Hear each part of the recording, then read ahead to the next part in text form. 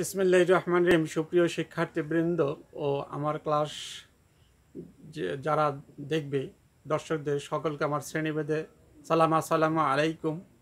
ও আদাব এবং অন্যান্যদেরকে ধন্যবাদ জ্ঞাপন করে শুরু করছি। আজকের অনলাইন ক্লাস আমি মোহাম্মদ চানমিয়া প্রভাষক, ভূগোল ও পরিবেশ বিভাগ আজিতমারি সরকারি কলেজ আজিতমারি লালমনিরহাট। আজকের অনলাইন ক্লাসে স্বাগত জানাচ্ছি। ডিগ্রি ডিগ্রি পাস কোর্স তৃতীয় বর্ষের শিক্ষার্থীদেরকে। আশা করছি তোমরা দেশের পরিস্থিতির মধ্যেও ভালো আছো।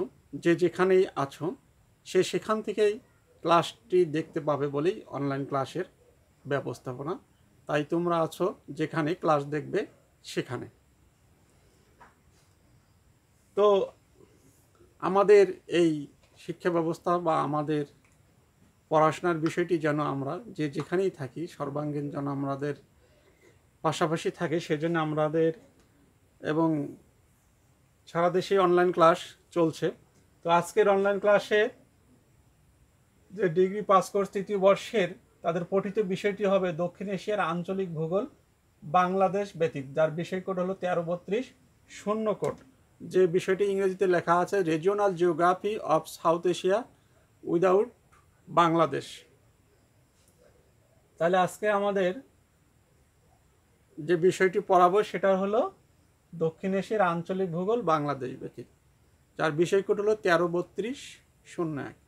কিন্তু আমরা কি পড়াবো আজকে? কোন বিষয়টি আলোচনা করব? সেটি হলো এখানে আমাদের আজকের আলোচ্য বিষয়। আলোচ্য বিষয় হলো দক্ষিণ এশিয়ার জনসংখ্যা বৃদ্ধির কারণ। আমাদের আলোচ্য বিষয় কি? জনসংখ্যা বৃদ্ধির কারণ?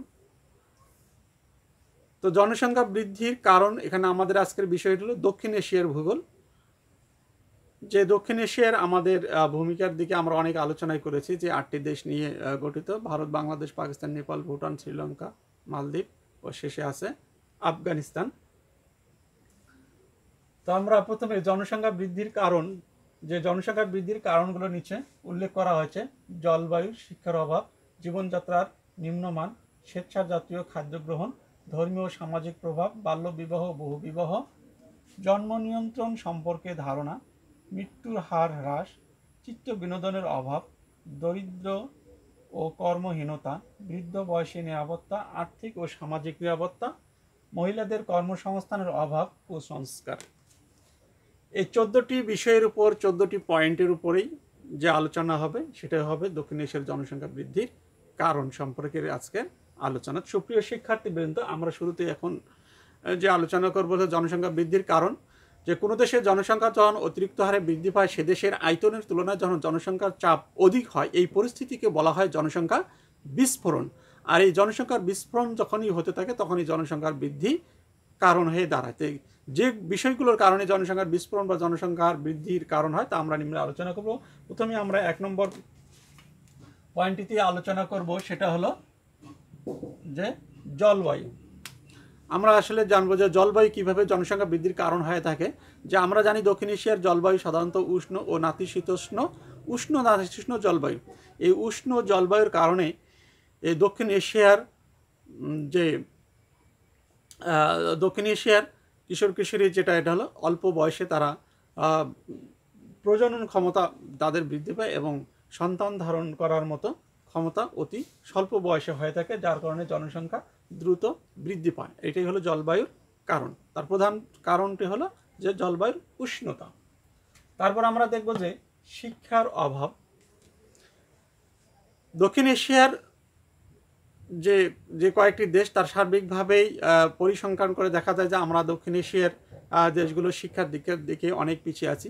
আর শিক্ষার অভাব থাকার কারণেই তারা আসলে জন্ম নিয়ন্ত্রণ বা জীবনযাত্রার মান উন্নয়ন সম্পর্কে তাদের অনেক ধারণা না থাকার কারণে তাদের বেশি সংখ্যক সন্তান জন্ম দেওয়ায় তাদের স্বাভাবিক বৈশিষ্ট্য হওয়ার কারণে দেখা যায় যে জীবনযাত্রার মান কমে যাওয়ার কারণে জনসংখ্যা বৃদ্ধি পাচ্ছে।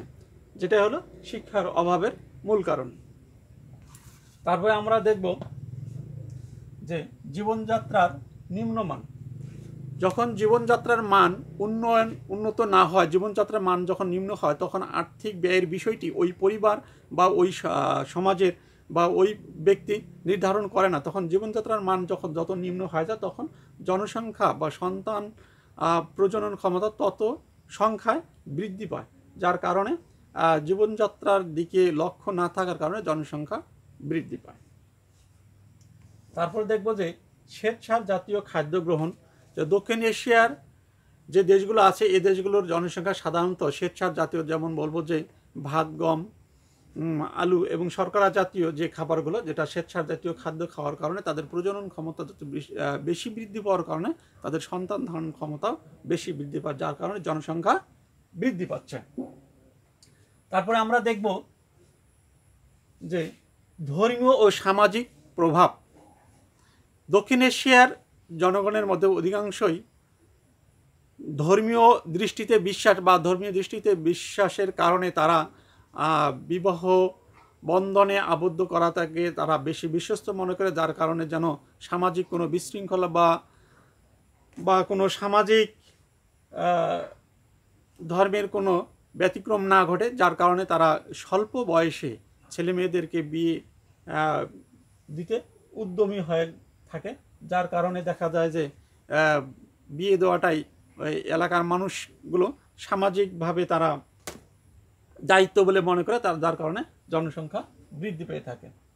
তারপর দেখব যে, বাল্যবিবাহ ও বহুবিবাহ। দক্ষিণ এশিয়ার দেশগুলো বাল্যবিবাহ ও বহুবিবাহর বিবাহের আইন যত, যতটুকু আছে সেটাও ততটুকু সঠিক, বলবৎ এবং আইনের কার্যকর, যথার্থতা না থাকার কারণে বাল্যবিবাহ বহুবিবাহ অহরহ হয়েই যাচ্ছে, যার কারণে জনসংখ্যা দ্রুত বৃদ্ধি পাচ্ছে। তারপর দেখব জন্ম নিয়ন্ত্রণ সম্পর্কে ধারণা। সাধারণত আমরা পূর্বে বলেছি যে জন দক্ষিণ এশিয়ার জনগণ যখন শিক্ষার অভাব থাকার কারণে এই জন্ম নিয়ন্ত্রণ সম্পর্কে তাদের ধারণা অনেকটা কম, যার কারণে তারা অধিক জনসংখ্যা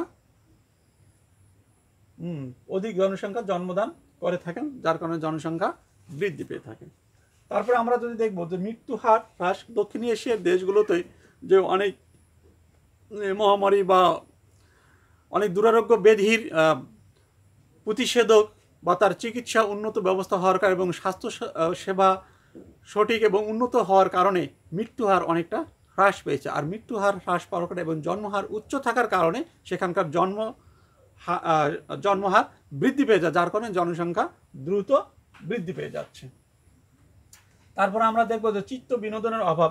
দক্ষিণ এশিয়ার দেশগুলোর মানুষ সাধারণত ধর্মীয় ক্ষেত্রে বেশি বিশ্বস্ত থাকার কারণে তারা বিবাহকে বেশি চিত্ত বিনোদনের বিষয় বলে মনে করে, যার কারণে তারা স্বল্প বয়সে এবং বাল্যবিবাহ এর ও কারণ হয়ে দাঁড়ায় এবং অল্প বয়সে বিবাহ বন্ধনে আবদ্ধ হওয়ার কারণে জনসংখ্যা বৃদ্ধি পেয়ে যাচ্ছে।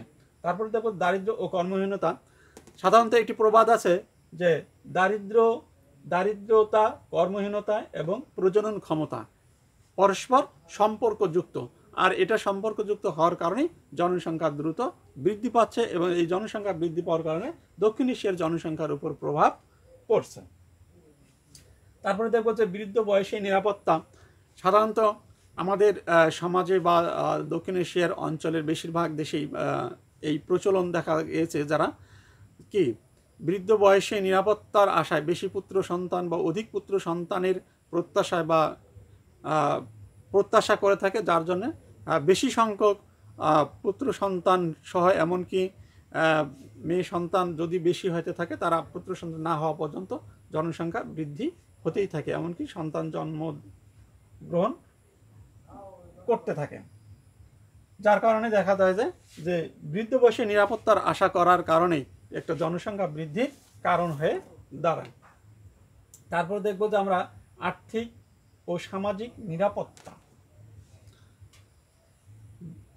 অধিকাংশ পরিবারের যারা কর্তা আছেন, পরিবার প্রধান আছেন, তারা মনে করেন যখন পরিবারের জনসংখ্যা বেশি হবে, তারা আর্থিকভাবে অর্থের উন্নয়ন ঘটাবে এবং তারা সামাজিকভাবে শক্তিশালী একটি পরিবার হবে জনবহুল পরিবার হবে, এটা তাদের ধারণার কারণে তারা বেশি সংখ্যক সন্তান জন্মদান দিয়ে থাকে। যার কারণে এই দক্ষিণ এশিয়ার জনসংখ্যা বৃদ্ধির একটি কারণ হয়ে দাঁড়িয়েছে।